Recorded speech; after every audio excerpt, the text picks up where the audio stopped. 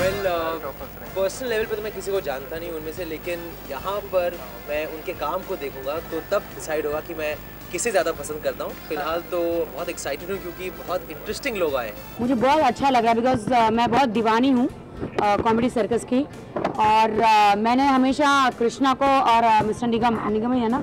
Uh, निगम को uh, इतनी अच्छी परफॉर्मेंस करते हुए देखा है कॉमेडी करते हुए दिखा है। दे आर अमेजिंग कॉमेडी के बादशाह है ये लोग। इनका कोई हाथ ही नहीं पकड़ सकता। पैर पकड़ सकता है आई डोंट नो लेकिन आई जस्ट वांट टू से कि ये लोग अमेजिंग है। तो uh, मुझे बहुत अच्छा लग रहा है कि मैं कॉमेडी सर्कस कर रही हूँ और uh, मुझे चुना गया है इनके साथ तड़का लगाने के लिए। तो हम तीनों तड़का ऐसा लगाएँगे कि ज़िंदगी में कोई तड़का ही नहीं लगा पाएगा।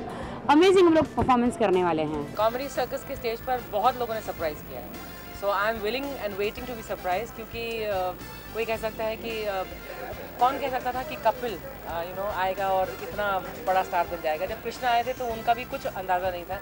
And they made I think two of the most successful Jody's. So I am not sure who is going to be देखने के बाद बताऊँ।